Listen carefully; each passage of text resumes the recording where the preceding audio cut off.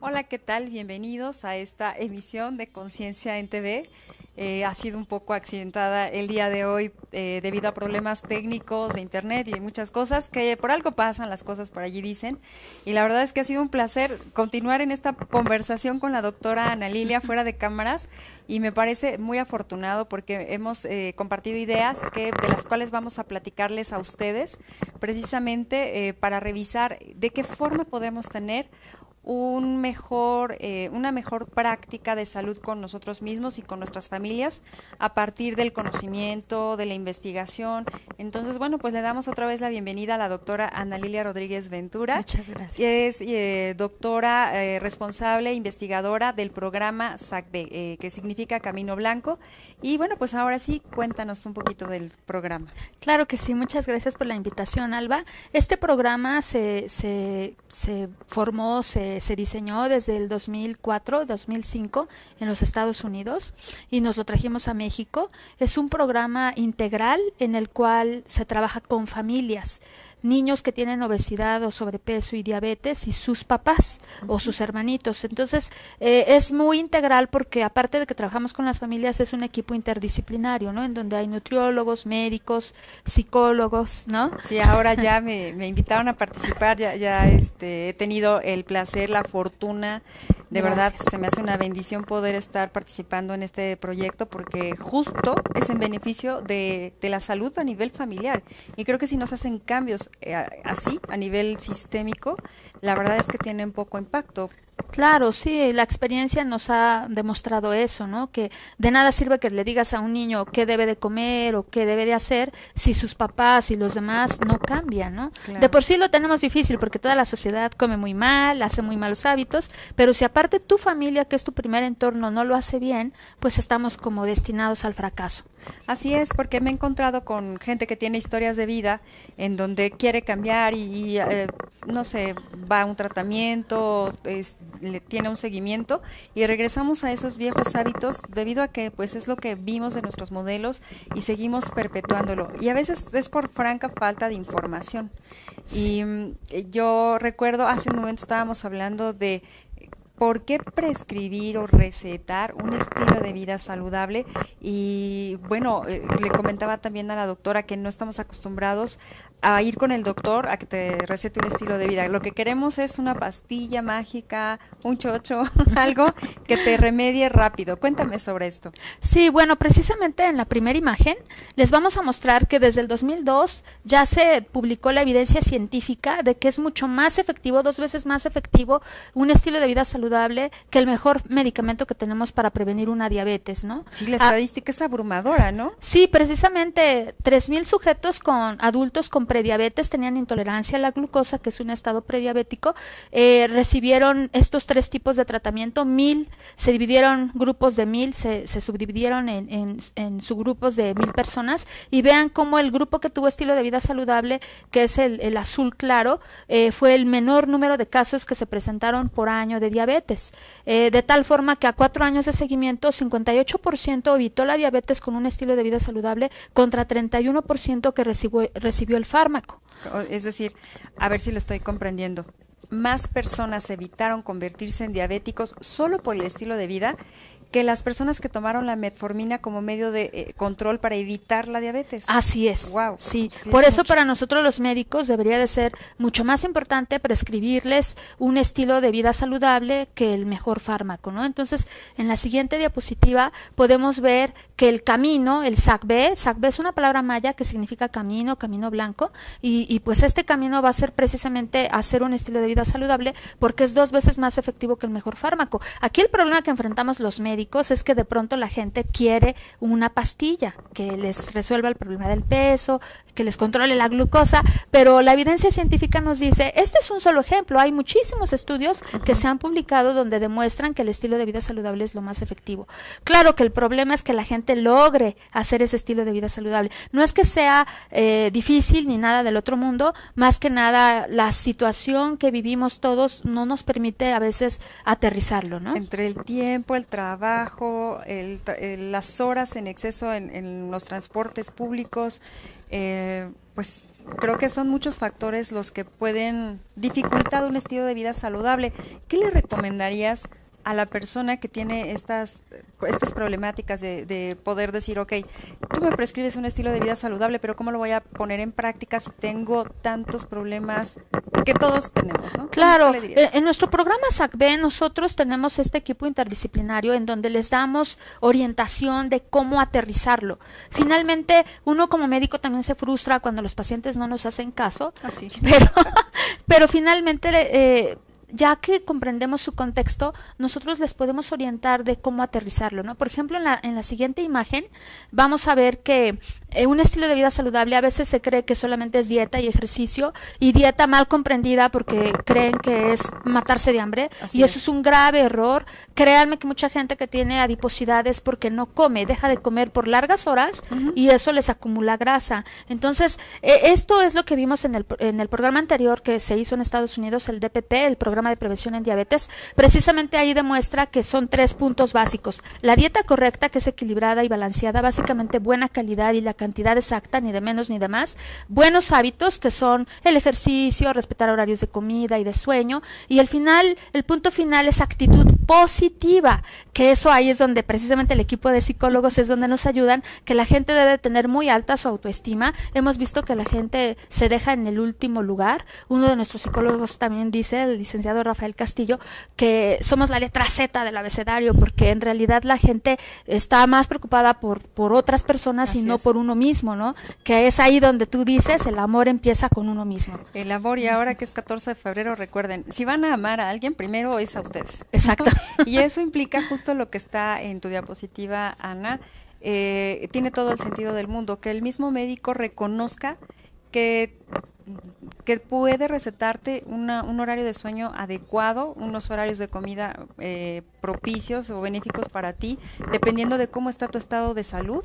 Pero eh, digo, una cosa es que lo recomiende y también la otra parte, acuérdense que siempre es el 50% y el 50%, o sea, el, el, médico puede estar preparado con esto, pero la actitud de nosotros para tomar estas recomendaciones y realizarlas, porque eso sí, no sé si, si me imagino que te han llegado pacientes así, si toman el medicamento a deshoras, duermen mal, comen mal, y pues el medicamento no tiene el mismo efecto tampoco. Claro, sí, lo primero, la piedra angular de la prevención y el tratamiento de adiposidad y diabetes es un estilo de vida saludable y tristemente, como pueden ver en la imagen, es la, la, la ventanilla que está vacía.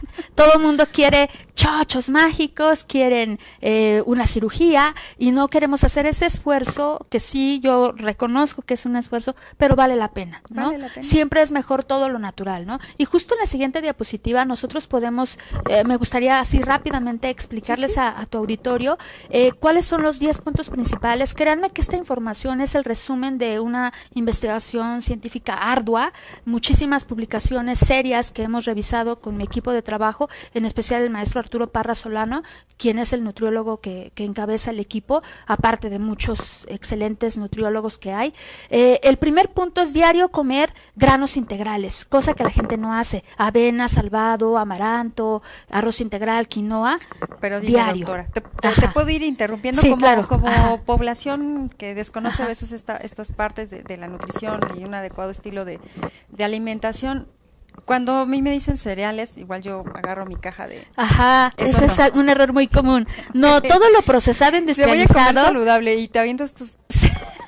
No, grave error, porque eso todo es industrializado y pierde la fibra. La fibra la debemos de obtener de los granos integrales, pero de forma natural. Avena, salvado, amaranto, ¿no? Eh, ar, eh, arroz integral y quinoa. Aparte las verduras, las frutas, las leguminosas. La gente ignora que debe de comer tres porciones, tres tazas de verduras diario la gente no la come o la come una vez a la semana. Entonces, leguminosas también son diario, eh, habas, lentejas, garbanzos, frijoles y también las, las semillas son muy importantes, claro, naturales, no cacahuate japonés ni nueces garapiñadas. Ah, bueno, Todo debe ser natural. Pues, ahí están los botaneros, ¿no? Y...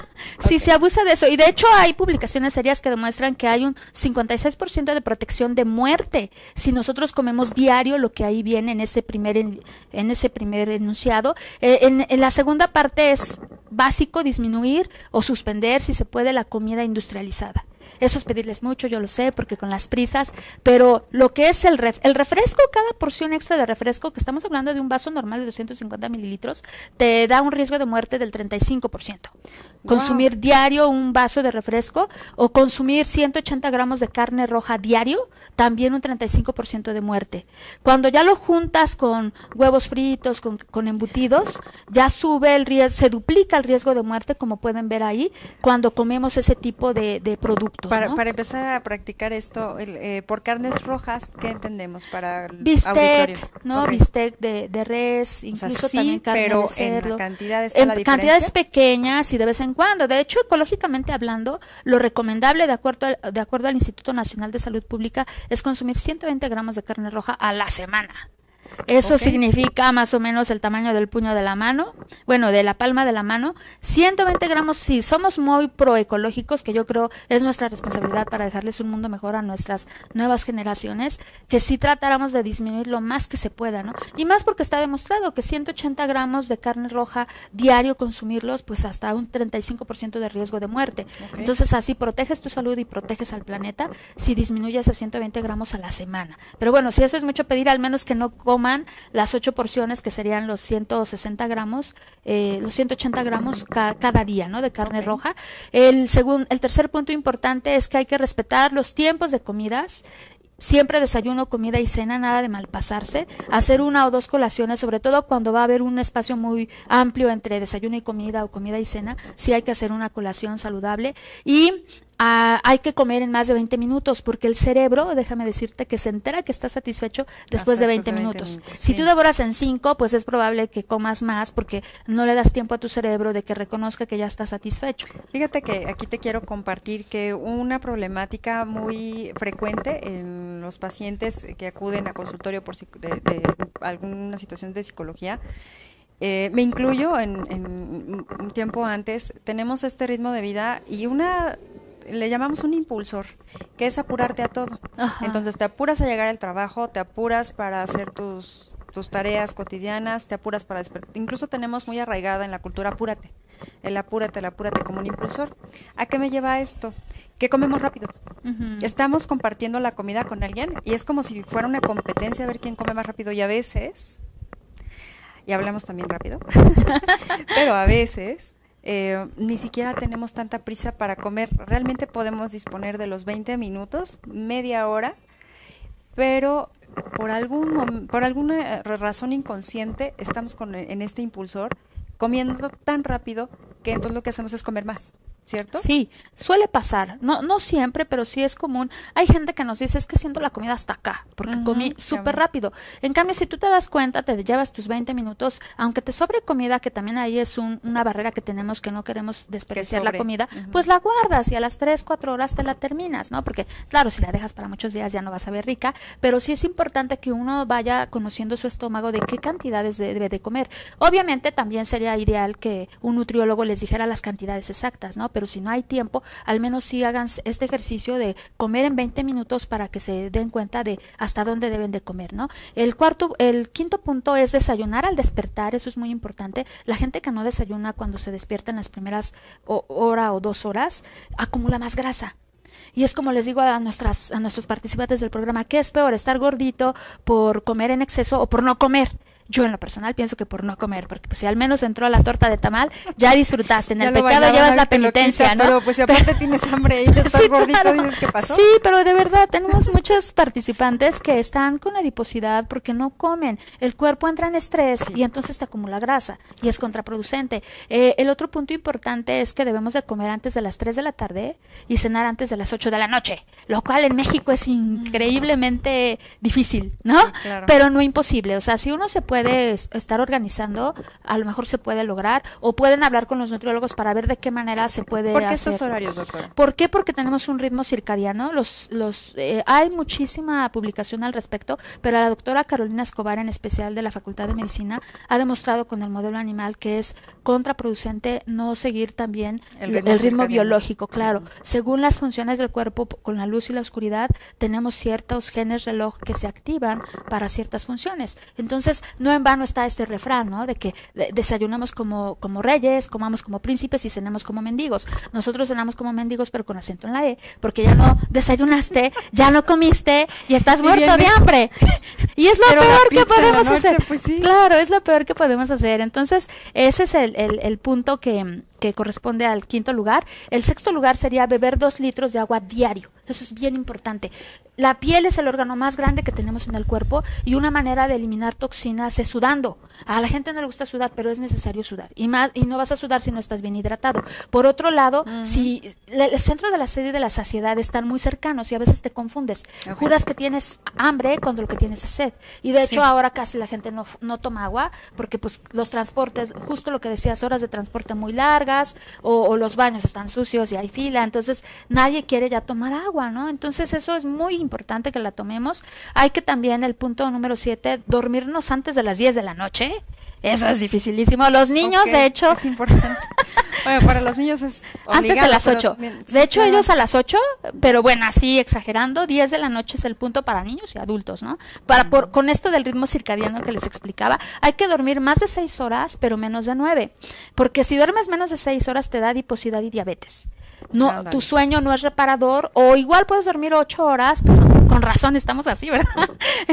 o puede ser que no, aunque duermas ocho horas, pero si el sueño no es reparador, no es tranquilo eh, como debe de ser, entonces no se repara tu cuerpo y tienes al día siguiente sueño y muchos problemas, ¿no?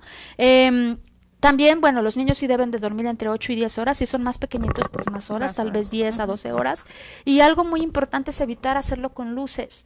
Tanto es muy deleterio que lo haga, que se acostumbra mucho el celular y las tablets antes de dormirte, eso es nocivo. O, o, durante el sueño hay lucecitas, ¿no? A veces que hasta que para el coco, ¿no? Que el niño tiene miedo para el coco o porque estás recargando algo, entonces esa luz, por muy tenga que sea, no, se repara igual, no se libera melatonina, que es una importante hormona para reparar también el cuerpo durante el sueño. Eh, el punto número 8, como pueden ver ahí, es ver televisión, internet, computadoras menos de dos horas. Eso sí está difícil, pero es lo más importante que podríamos hacer. A veces el trabajo no lo permite, ¿no? O las, o las tareas que les dejan ahora a los niños, pobrecitas, largas horas. Sí. Está bárbaro eso. Sí, yo creo que no es como muy adecuado porque los estás obligando a estar conectados en la, en la computadora y lo peor que en redes sociales a veces todo el día, porque ahora ya también muchas escuelas ocupan incluso pues el Facebook. Sí. Bueno, creo que creo que hay cosas que son importantes precisamente que la familia se que aunque todos los demás lo estén haciendo, no porque todos lo hagan, es lo adecuado. Sí, o sea, siempre que se pueda disminuir, hay que hacerlo, ¿no? Yo sé que a lo mejor hay gente que, pues, por su mismo trabajo estará más horas, pero ahí algo recomendable sería que cada dos horas te levantes, te despejes y unos cinco o diez minutos y regreses. Entonces, para no estar ahí todo el tiempo. El, el punto número nueve es muy importante, hacer ejercicio. Si haces ejercicio, tú lo sabes, se liberan beta endorfinas que nos dan placer y bienestar. Y, y lo que mucha gente desconoce es que los niños tienen que hacer cinco horas de ejercicio a la semana. Sí, pensamos que por ser niños tienen que hacer ejercicio porque decimos, ah, pues como que solito está muy activo. Y no, es importantísimo que también ellos tengan actividad física. Sí, de hecho, algunos padres que nosotros entrevistamos decían que su solicitud era que en las escuelas hicieran esas cinco horas, porque suelen hacer dos y a veces no efectivas, y ellos realmente llegan tarde a sus casas y ya no pueden salir con los niños a que jueguen y, y, hagan ejercicio. Entonces, ojalá que en las escuelas se pudiera establecer un programa en donde, porque además en grupo es más padre, la verdad. Entonces, si lo hacen en los niños, pues ya es una ganancia. Los padres tendrán que ver cómo en su larga jornada de trabajo se escapan media hora, una hora no digan que yo se los dije para que no los corran, pero sí es importante que, lo hagan. Y, y, aparte, otra estrategia muy buena es que usen un, un, acelerómetro o que bajen una aplicación para contar pasos en su celular. Hay que hacer de, de 10 mil a 15 mil pasos diario y la gente hace 2 mil o 3 mil. Entonces estamos muy sedentarios. Ah, es más, tenemos muchas pacientes que han bajado 22 kilos tan solo por asegurarse sus 10 mil pasos diario. Porque me dicen, yo odio... Sí, dicen, yo odio el gimnasio y no me lo pidas, bueno, al menos asegúrese de hacer sus 10 mil a 15 mil pasos por día, entonces ya están del otro lado. Y el décimo punto, que es algo que a ti te atañe, eh, para que en lo que nos estás apoyando, es muy importante ser felices con lo que se tiene sin renunciar a nuestros sueños, claro, está. Eh, y aplicar la resiliencia. ¿Por qué ser felices? Porque se ha demostrado que el sistema inmunológico que te defiende de cánceres, de infecciones y de muchos problemas em, va a estar más activo si, si tú estás contenta. Se liberan neurotransmisores y muchas moléculas que ayudan a que tú estés estable. Y sí, lo que pasa también cuando tienes una autoestima saludable, que se relaciona mucho con esta sensación de felicidad y de bienestar, también funciona, y ojo con eso, como un sistema inmune psicológico. Quiere decir que los problemas en lo cotidiano te van a impactar mucho menos que cuando tienes autoestima baja. Exacto. Y la resiliencia, la verdad es que pues es esta capacidad que tenemos para salir adelante a pesar de los problemas y eso es algo que deberíamos de cultivar todos porque si vivimos una sociedad con N problemas y no le puedo decir yo a los pacientes, no, no tengan estrés, pues no, todos tenemos estrés, ¿no? Justo yo en la mañana, por ejemplo, pero o ahorita, ¿no? Lo que nos pasó, pero lo importante es siempre tener esta actitud positiva de que podemos solucionar el problema, ¿no? Exacto. todo problema tiene solución, por ahí dicen todo menos la muerte. Mm, pero eso significa que no porque tenga solución debemos estresarnos de aquí a que encontramos la solución, sino precisamente más bien relajarnos porque la solución de alguna u otra manera se va a dar y lo voy a relacionar justo con la participación en este programa porque lo que llega a pasar es que a veces hemos intentado cosas que no han funcionado. Si en el pasado ya intentamos bajar peso o cuidar la salud eh, o evitar la diabetes y no funcionó, eh, hay que ser resilientes para decir, bueno, está bien, no me funcionó esta vez, pero puedo intentar algo diferente. Y algo que les he compartido también al auditorio en los programas o en mis clases es que, y no sé tú cómo lo veas, doctora, si ya intentamos un camino, no quiere decir que porque fracasaste en él, te debes detener quiere decir lo único que eso no ha funcionado para ti y porque le funcionó a alguien más no quiere decir que también te funcione a ti. Entonces buscar una alternativa para ti. A veces ni siquiera la conoces hasta que te pones en contacto con algo distinto y es lo que a mí me pasó con tu programa. Por eso me encantó este programa SACB y también eh, estoy comprometida a difundirlo porque me parece razonable, sensato, aterrizado y creo que es el camino que ahora sí le puede funcionar a muchas familias. Claro, siempre hay que buscar otro SACB, otro camino, otro camino blanco para poder encontrar, hacer y poder lograr los objetivos ¿no? que uno se ha planteado. A veces también tenemos mucho sentimiento de culpa de que estamos con sobrepeso porque es nuestra decisión, cuando en realidad influyen muchísimas cosas, ¿no? Desde cómo te educó tu familia, la misma sociedad que te induce a consumir al por mayor productos procesados y la falta de tiempo, que siempre estás con las prisas que no te permite ni tiempo para pensar, ay, ¿qué me voy a preparar saludable hoy, ¿no? O, a qué hora voy a hacer mi ejercicio. Te abruman de pronto tantos problemas que no tienes esa conciencia de, de, que debes de cuidar primero tu salud. No hay nada más importante que nuestra salud. Y por ello es que eh, prescribir, porque si somos, eh, si estamos del lado de la salud, prescribir un estilo de vida saludable es parte del tratamiento y lo más importante del tratamiento. Así es. Y del otro lado, cuando somos los pacientes, considerar que pueden haber muchos problemas y un estilo de vida al que estamos acostumbrados, pero podemos cambiarlo por un estilo de vida saludable que signifique el amor a nosotros mismos. Y bueno, pues con esto me despido, despido a la doctora Ana Lilia, que antes de partir me gustaría si eh, quieres hacer unas recomendaciones generales, invitarlos al programa en donde estás, ¿cómo te pueden contactar? Claro, con mucho gusto. Estamos en el Instituto Nacional de Perinatología. Este programa está recibiendo financiamiento del CONACIT. Es la ventaja porque le podemos hacer de forma totalmente gratuita estudios genéticos y moleculares y metabólicos a sus hijos. Y eso, es totalmente gratis, claro. Aparte de que hay un equipo interdisciplinario de nutriólogos, psicólogos ahora, felizmente, y médicos que podemos hacer una evaluación global, tanto del niño afectado como de sus hermanos y de sus padres. Entonces, yo los invito a participar. No sigamos pensando que el tener adiposidad en un niño se le va a quitar cuando crezca. Está demostrado que hay efectos deleterios a largo plazo. Por eso tenemos que atender este problema ya. Así es, no exponer más a los niños, eh, sino imagínense eh, esto que pensamos que es la comunidad en el futuro eh, y que tenemos el gran compromiso de, proporcionarle los mejores medios o un mundo mejor de lo que está, pues es parte de esto, ¿no? El, poder cambiar unos patrones que hemos estado arrastrando culturales y de hábitos que nos, nos han hecho tanto daño, que bueno, pues por eso ocupamos los primeros lugares ahora en diabetes y en obesidad, justo por estos patrones que heredamos muchos, pero porque tenemos el compromiso como generación de no seguir heredando. No a los que vienen, no es justo. Eh, cada vez más niños tienen diabetes tipo, 2, lo que es súper grave, antes solo se veía en los adultos. Así es. Quiere decir que hay algo urgente por hacer y este es uno de los programas que eh, me parece completo y como tú dices, basado en evidencia científica. Así es que los invito a ponerse en contacto con la doctora Ana Lilia, a quien además eh, estimo mucho, eh, te agradezco sobremanera hayas venido y bueno, pues sigan disfrutando de este Día del Amor y la Amistad, practicando el amor con uno mismo. Hasta la próxima. Hasta luego. Gracias. Gracias a ti. Thank you.